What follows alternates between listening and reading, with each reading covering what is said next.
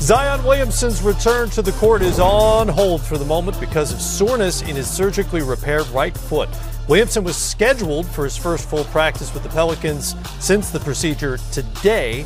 So far, he's gotten as far as four on four work in his rehab. Head coach Willie Green said he is not concerned. He's optimistic about his return, but at the same time, uh, maybe this is nothing. Maybe it's just a precaution. But every time you hear about Every another time. setback with Zion, you just have to be a little concerned. Yeah, you do, and particularly if you're in New- Orleans right now. I mean, you're waiting on this guy, and the news is always grim when it comes to his physical state.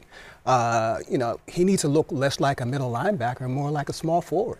You have to understand, he could carry that weight on a high school schedule when you're playing, what, 20, 25 games or whatever, even in a college schedule, but the NBA grind, you know, with the travel, the practice, and everything like that.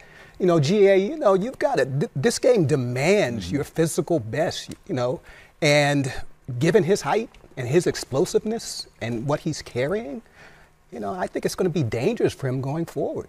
Well, and it's always dangerous for any given player. In this case, I don't think it's an overstatement to say that the, the future of the franchise, in terms of how they're going to play, if they're going to be a playoff team, if they're going to be relevant in terms of competition, hinges on what happens with Zion Williamson's health. No doubt about it. And, and, and you were being very kind when you said middle line. I, I tried to. I, was, tried to I was thinking defensive I, was, I tackle. tried to be. Defensive but tackle. I yeah. didn't want to go there. But uh, to your point, the, the, the bigger issue for them as well is, you know, they haven't necessarily been hitting it out of the park with the acquisitions or the draft.